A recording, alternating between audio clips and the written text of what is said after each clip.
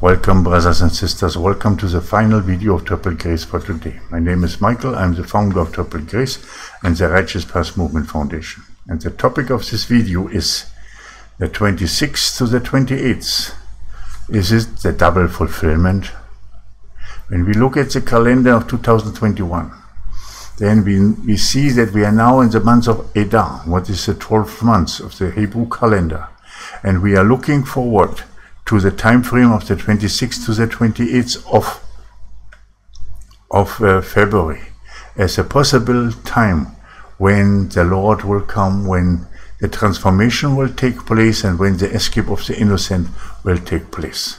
But then we also know and understand that exactly on the same time frame, one month later, on the 26th to the 28th, we will have the beginning of Passover but would also be a perfect timing for the beginning of the end times, for the seal tribulation.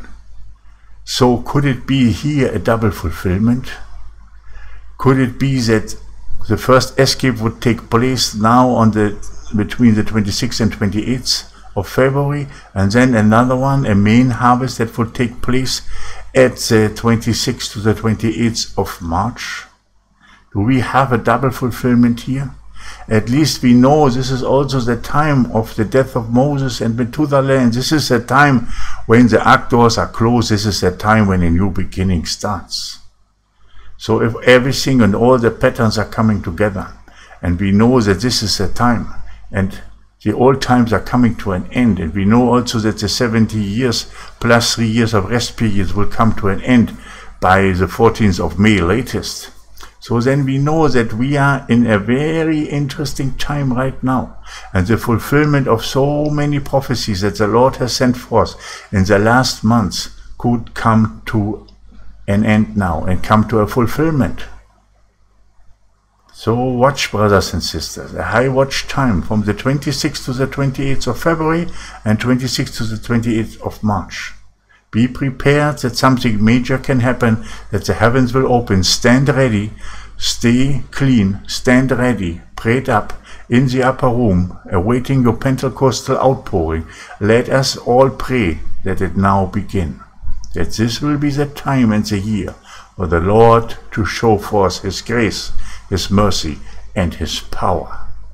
That the harvesting brides will step forward now into their destiny and purpose so that at the sixth seal the multitude clothed in white can stand.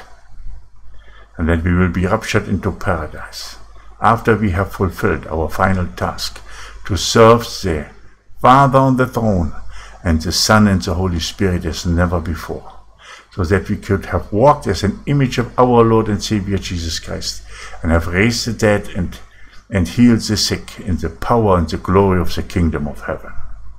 A double fulfillment could be here, but it could also show forth that we might be in a Jubilee year, what would then allow us to have a, a second Adar month, what would be the 13th month, what would, would also have and then two Adars, 26th to the 28th, in February and in March. So let's see what will happen, brothers and sisters, and let us always pray to the Lord that everything will be done only according to His will, because as his will be done as it is in heaven so on earth.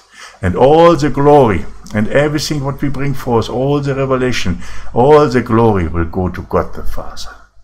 Because he is the creator of all things and he has made the plan that we will follow, that will come to pass right now.